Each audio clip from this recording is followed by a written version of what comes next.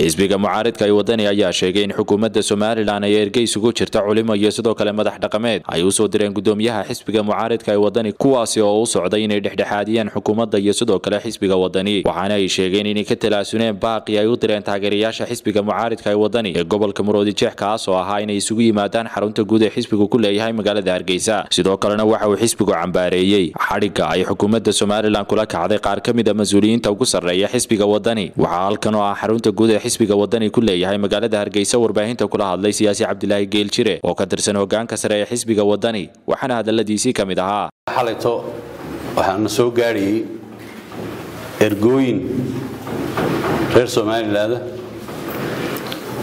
oo ka kooban culimo ganacsato madaxweyne ku-xigeyaal hore madasha iyo xusbiga kale mucaaridka ah ucid oo aanu isbahaysi mucaarad nahay. Ergooyinkaasoo naga dalbanayay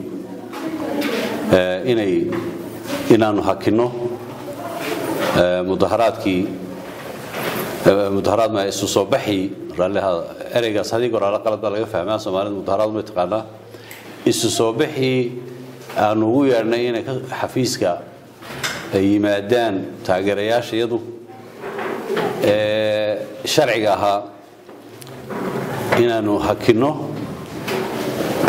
oo aanu ka aqballo ergo inay cabashooyinkaygana eegaan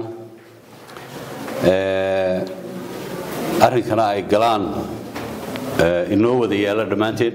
Waa caadadeenna reer somalilan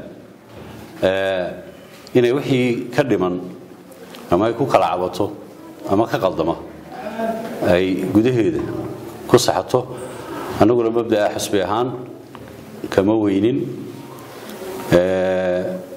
Waanu ka aqbalnay.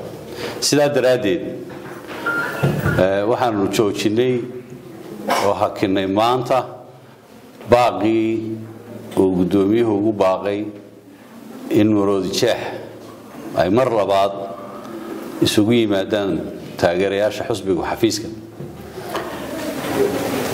Sidaa daraaddeed halkan maanta taageerayaashayadii iman maayaan. Waxaase jira gobollada kale sidii loogu baaqay waayo hadalkaasi hore u baxay meel laga soo celiye ma lahayn sidii loogu baaqay ayay u soconaysaa maanta.